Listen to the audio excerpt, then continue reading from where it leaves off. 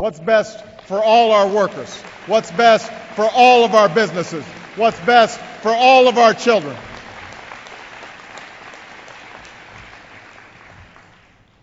These values are not Democratic or Republican. They are not conservative or liberal values. They are American values.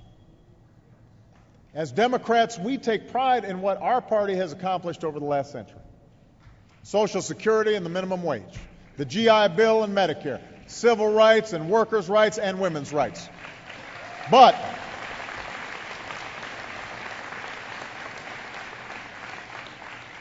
But we also recognize that throughout our history, there has been a noble Republican vision as well of what this country can be.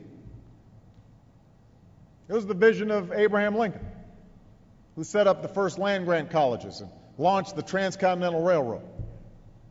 The vision of Teddy Roosevelt, who used the power of government to break up monopolies. The vision of Dwight Eisenhower, who helped build the interstate highway system.